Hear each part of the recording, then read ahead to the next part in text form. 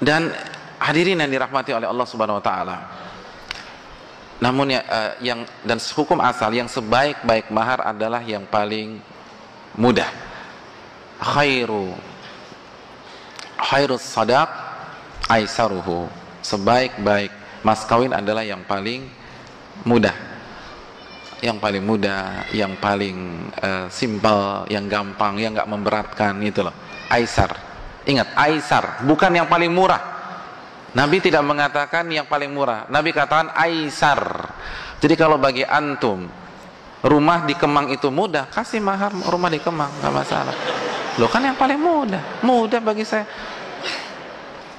Bagi saya itu yang paling murah gitu loh, atau paling yang mudah, nggak ada yang lebih mudah dari kasih rumah di Kemang. Ya udah kasih aja rumah di Kemang. Ingat, ini dalam. Makanya ketika Umar, meng, Umar pernah uh, berkhutbah Lalu dia katakan Nabi Shallallahu Alaihi Wasallam memberikan mahar itu tidak mahal, tidak mahal. Nabi tidak kasih mahal. Dalam riwayat berapa berapa mahar Nabi ke istri-istrinya? Dalam riwayat riwayat Aisyah, ah, 500 dirham, 500 dirham. Berarti 500 dirham berapa? Sekitar 30 sampai 35 juta. Itu mahar Nabi. Dalam hadis Abu Habibah eh Abu Habibah, Ummu Habibah mohon maaf, Ummu Habibah 400 dirham. 400 dirham berarti 24 sampai 28 juta. Dan untuk Ummu Habibah untuk Ummu Habibah 240 juta. Itu mahar Nabi. Itu mahar Nabi. Jadi bukan seperangkat alat sholat yang 100 ribu, bukan 240 juta.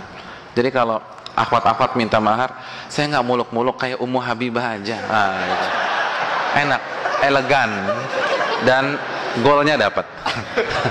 elegan dan golnya dapat. Daripada ngomong macam-macam nggak enak, didengar nggak enak. Tapi kalau Ummu Habibah, masya Allah, saya nggak banyak nuntut Ummu Habibah, masya Allah.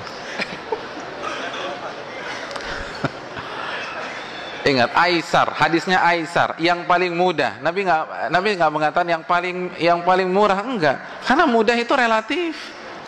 Makanya saya lanjutkan lagi. Umar Umar mengatakan barang siapa yang maharnya melebihi mahar Nabi, maka saya akan ambil dengan paksa dan saya akan masukkan Baitul Mal.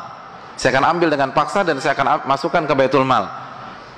Begitu beliau selesai berkhutbah diprotes sama seorang wanita dan hadis ini sahih. Kalau nggak salah hadis riwayat Baihaqi dan Musannaf Abdul Razak.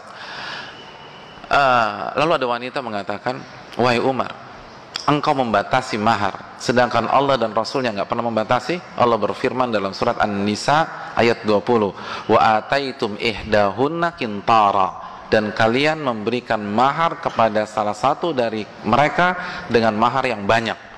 Allah katakan banyak. Allah tidak batasi, lalu Anda engkau batasi? Apa yang terjadi? Umar langsung naik lagi ke mimbar dan mengatakan kullu kullu ahadin afqah min Umar. Semua orang yang ada di sini itu lebih pintar dari Umar. Saya tarik lagi ucapan saya tersebut. Allahu akbar. Lihat Umar bin Khattab radhiyallahu taala ketawaduannya nggak ada bantah. Dikasih ayat sami'na wa ta'na oke saya salah. Semua kalian lebih pintar dari Umar. Saya tarik ucapan saya bebas. Tapi jangan memberatkan. Oleh karena itu hadirin yang dirahmati oleh Allah yang paling mudah bagi laki-laki itu lebih baik. Maka si wanita hendaknya dia melihat siapa yang melamar dirinya dan uh, hendaknya yang termuda itu yang lebih berkah yang lebih mendapatkan ridho Allah Subhanahu wa taala.